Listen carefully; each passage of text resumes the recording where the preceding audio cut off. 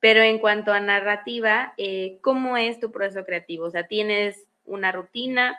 ¿Eres un escritor eh, disciplinado en cuanto a escribo tantas páginas al día? ¿O acudes a talleres? ¿O eres este tipo de escritor eh, inspiracional? ¿Cómo es tu, rutina para escribir, Gaby?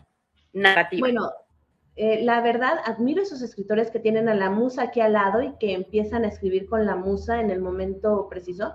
No, yo tengo que ser, yo soy de rutinas. Eh, normalmente en las mañanas, antes de venir al trabajo, trabajo en una universidad, escribo dos textos.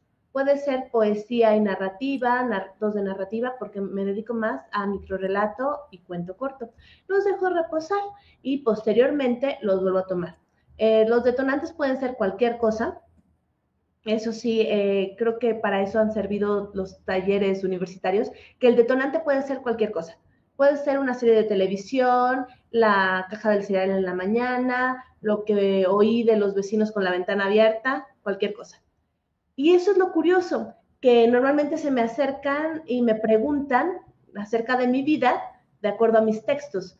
Poco de lo que escribo está realmente relacionado con mi vida. Digamos que el 90% de lo que escribo tiene detonantes externos y nada más el 10% si es, digamos, autobiográfico.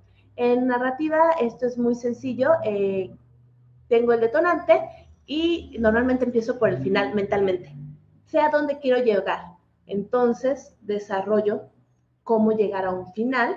Un final normalmente sorprendente. No, no puedo decir que me gusten los finales eh, de cuento de hadas, todos vivieron felices por siempre, aunque también los tengo, pero me gusta darle eh, la vuelta de tuerca, el final o Henry, como le llamamos, bueno, le llaman en inglés, y eh, como te digo, tengo más microrelato. También tengo cuento más largo. En ese caso, lo trabajo, lo reviso, lo saco varios días seguidos. Por ejemplo, me pongo la meta. Hoy voy a escribir el inicio, pero teniendo ya mi final en mente hoy voy a desarrollar el personaje, hoy voy a hacer esto, voy a hacer aquello. Eh, sí, me tengo que poner rutinas, me tengo que poner metas pequeñas, si no, me disperso fácilmente. Como te digo, reconozco que los escritores que tienen a la musa aquí hablándoles al oído y que escriben y que cuando llegue la inspiración, pero en mi caso no.